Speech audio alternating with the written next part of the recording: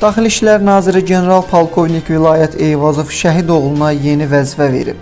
Kanal 13 Qafqaz Infoya istinadən xəbər verir ki, nazirin əmri ilə Gəncə şəhər Baş Polis İdarəsinin baş müstəntiqi polis mayoru Fərid Məmmədov vəzifəsindən azad olunub. Digər əmrlə Fərid Məmmədov Kəpəz rayon polis idarəsinin təhqiqat bölməsinin rəisi təyin olunub.